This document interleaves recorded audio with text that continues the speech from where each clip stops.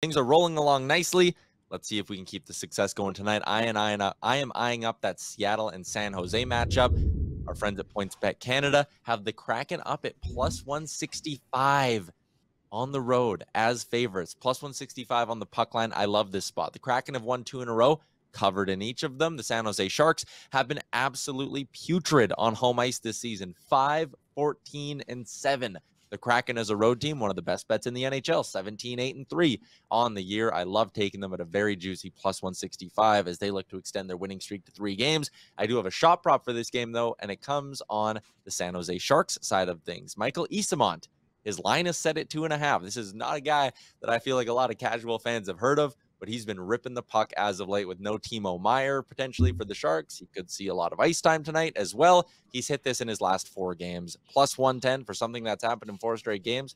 Sign me up. A couple of plus money bets on a Monday night. Start the week, Frank.